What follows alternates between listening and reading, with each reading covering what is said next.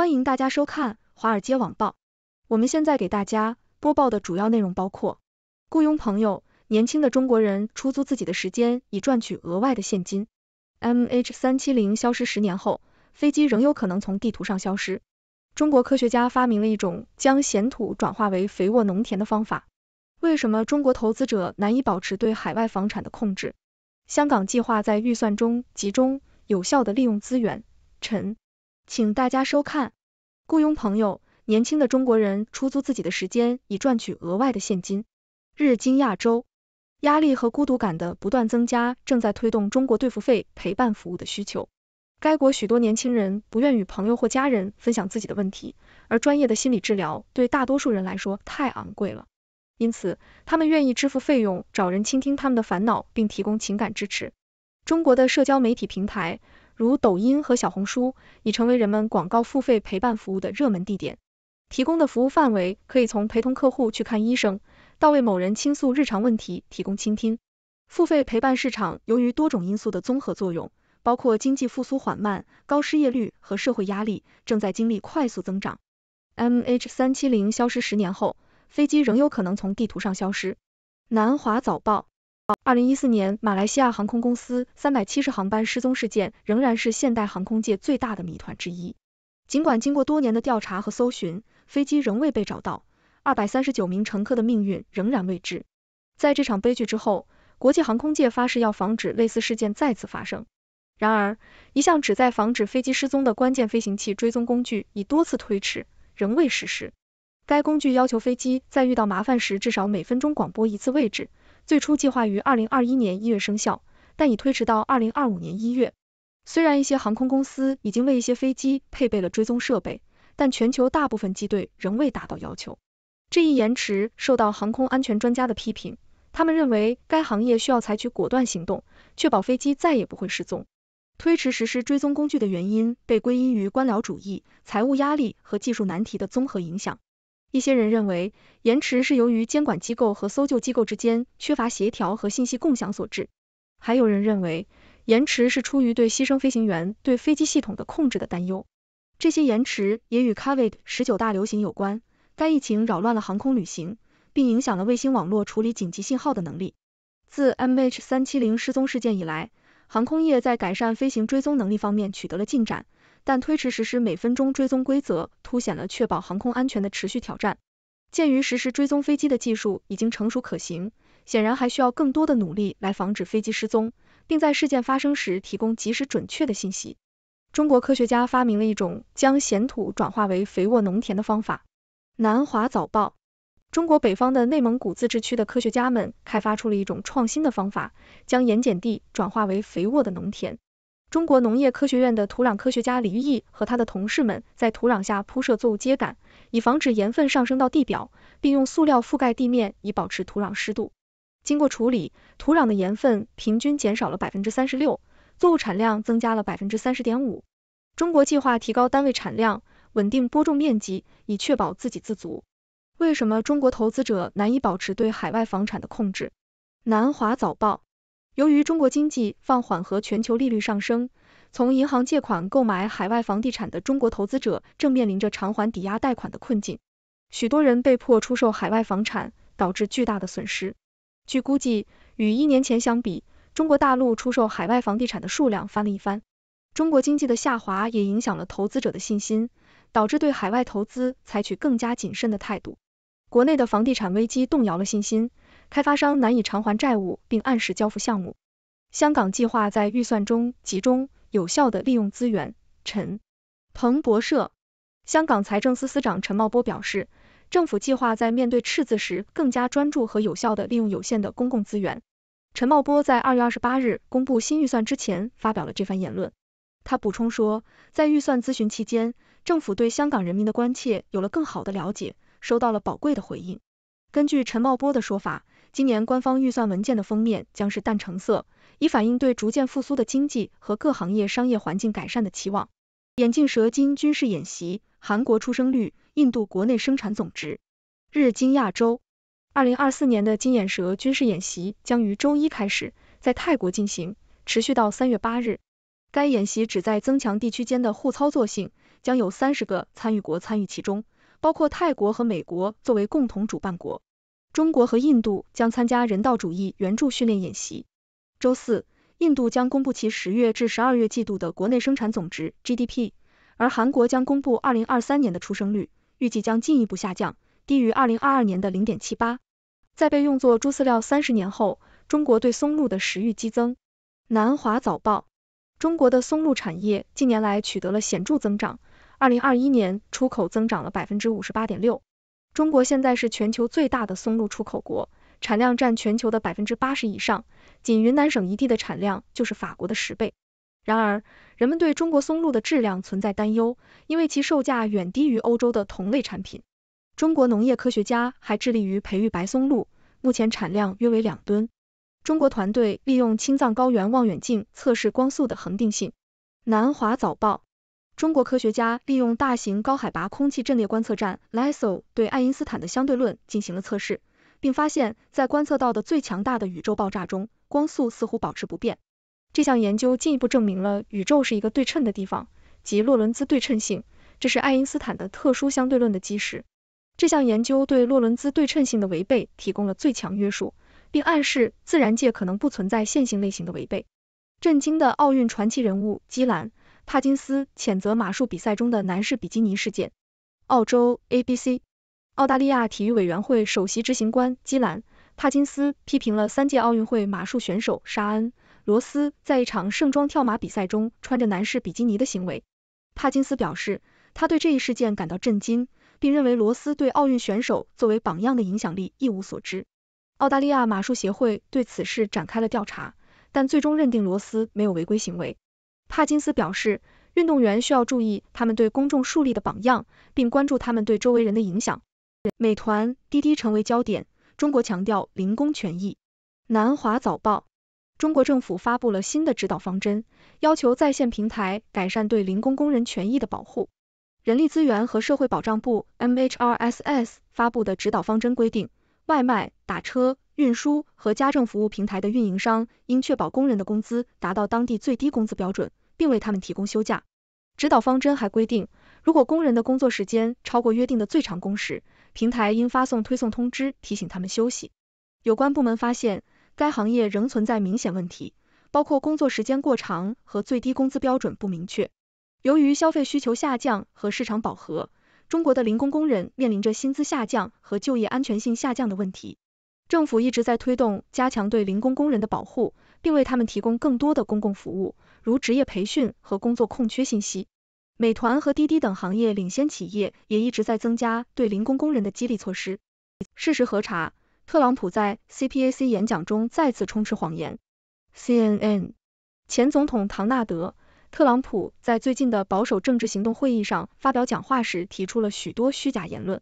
他错误地声称自己曾警告反对伊拉克入侵，实际上他直到战争开始后才公开反对。他还声称自己结束了北溪负二天然气管道项目，这是错误的，因为在特朗普对参与其建设的公司实施制裁时，该管道已经完成了约百分之九十。此外，特朗普重复了关于二零二零年选举被操纵的虚假说法。并对乔·拜登总统下令起诉他提出了毫无根据的声明。特朗普还对在乔治·弗洛伊德被谋杀后的骚乱期间派遣国民警卫队到明尼阿波利斯提出了虚假说法。实际上，是明尼苏达州州长蒂姆·沃尔兹，而不是特朗普派遣了国民警卫队。特朗普夸大了边境墙的建设程度，声称已经建成了五百七十一英里，而实际数字是四百五十八英里。他还错误地声称自己创造了“大篷车”一词来描述前往美国边境的移民群体。实际上，在特朗普担任总统之前，其他人已经使用过这个词。此外，特朗普错误地声称自己在四周内击败了 ISIS。实际上，在他担任总统两年多后，ISIS 哈里发国才被宣布完全解放。他还错误地声称拜登总统要求每个人都必须拥有一辆电动汽车，并夸大了美国的贸易逆差，声称在拜登任期内达到了两万亿美元，而实际上。二零二三年的贸易逆差约为七千七百三十亿美元。最后，特朗普声称中国停止从伊朗购买石油是错误的，因为中国对伊朗石油的进口并没有停止，在他担任总统期间，实际上还增加了。蓬皮埃尔谈论 Mammy Monster 派对、品牌建设和三代陷阱。南华早报，马来西亚零食品牌 Mami 的第三代继承人彭皮埃尔，庞表示，他决心将公司成功的引领到一百周年纪念日。庞于二零二二年成为集团首席执行官，并计划增加收入并削减一些产品线。他还希望改变人们对 Mami 的刻板印象，即它是一个华人公司，只关心利润，拒绝投资于技术、品牌或人才。庞的祖父于一九七四年将备受喜爱的 Mami 面条引入马来西亚。在排放目标上，给发展中国家一些喘息的空间是公平的。南华早报，该文章讨论了气候变化对全球南方弱势群体的不成比例影响，而这些群体对温室气体排放的贡献最少。作者认为，将高排放国家和几乎没有贡献的国家在减排方面采取相同的标准是不公平的。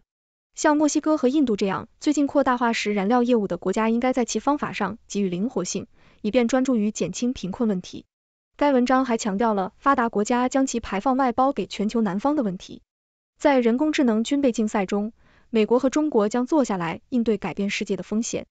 澳洲 ABC 预计美国和中国将在接下来的几个月内举行会议，讨论人工智能 AI 的负责任发展。此前，官员和专家们进行了多年的游说，关注点包括利用 AI 破坏民主、实施欺诈、导致失业和发展军事应用。生成式 AI 的快速增长，使得人们担心它可能被用来影响公众，并颠覆政治进程。布鲁金斯学会的一份报告认为，任何关于 AI 框架的讨论都需要关注军事用途、积极合作和可能的领域。美国计划推出一个 AI 安全研究所，要求开发者与政府分享安全测试的结果。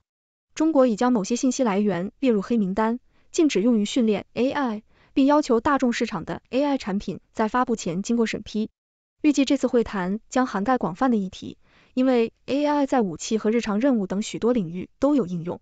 如果塔利班想要在阿富汗获得合法性，就必须放弃与基地组织的关系。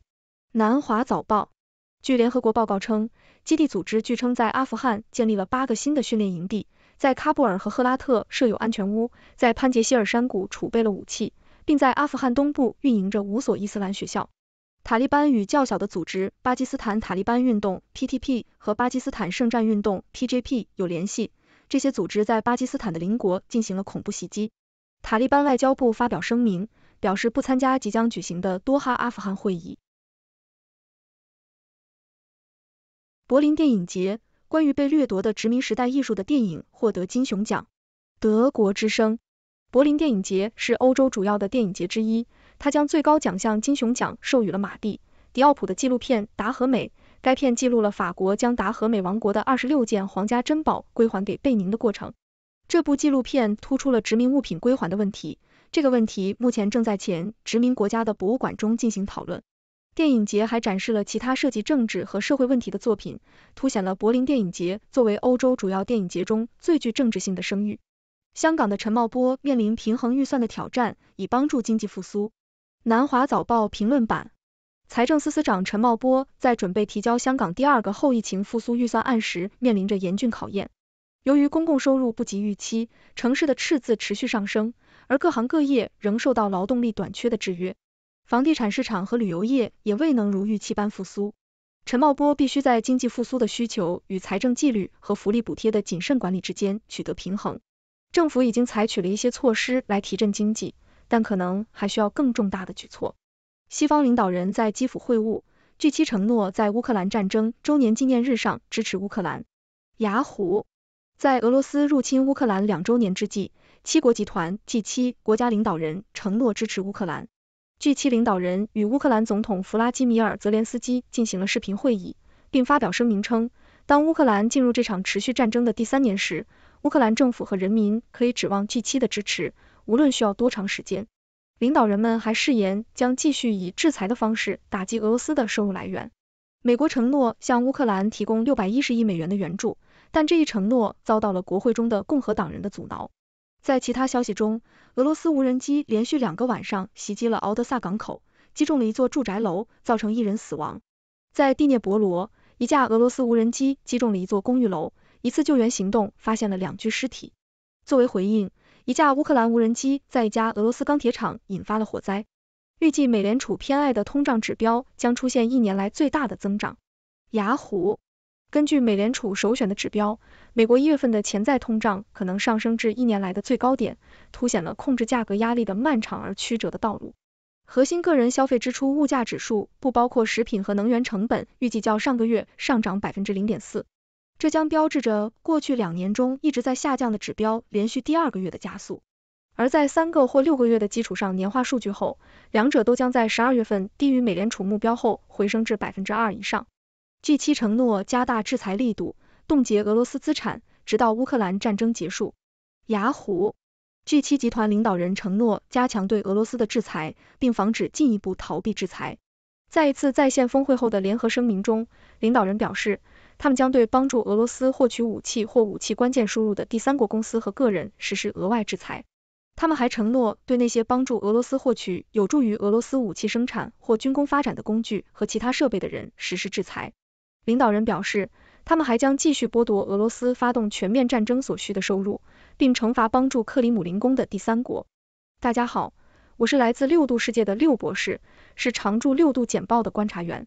今天我们带来了一系列新闻内容，包括中国年轻人雇佣朋友的现象，MH 三七零失踪十年后的情况，中国科学家发明转化盐碱地的方法，中国投资者难以控制海外房产等。让我们一起来看看这些新闻背后的深层分析和我的观点。首先，我们注意到中国年轻人出租自己的时间以赚取额外现金的现象，这反映了压力和孤独感的增加，以及心理治疗服务的昂贵性。虽然这种现象在某种程度上反映了社会问题，但我们也可以从中看到年轻人对情感支持和倾听的需求。这也提醒我们与朋友和家人分享问题的重要性。关于 MH 三七零失踪十年的事件，尽管经过多年的调查和搜寻，飞机仍未被找到。乘客的命运仍然未知，这个谜团迫使国际航空界采取行动，以防止类似事件再次发生。然而，关键的飞行器追踪工具的推迟实施引发了批评。这个延迟归因于多种因素，如官僚主义、财务压力和技术难题。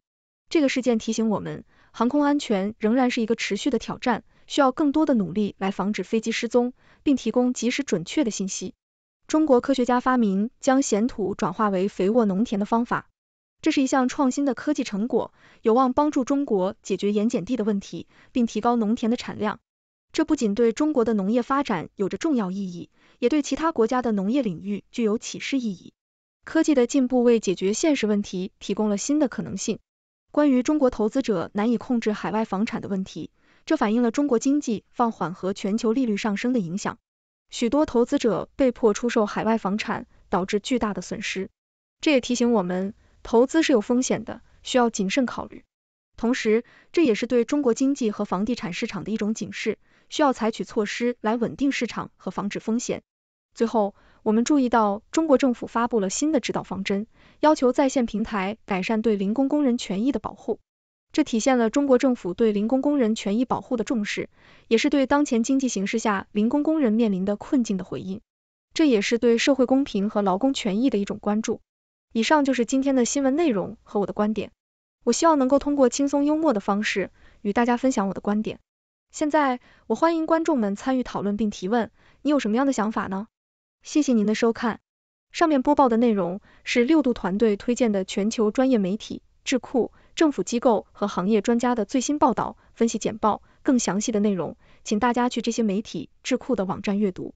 这些内容并不一定反映六度简报的立场，亦不能作为任何决策的建议。六度团队由专业媒体人、学者、科学家组成的独立新型媒体，大家可以根据自己的专业要求订阅各种简报。网址是六度 brief 点 com。您在世界任何地方都可以通过电邮收到六度简报。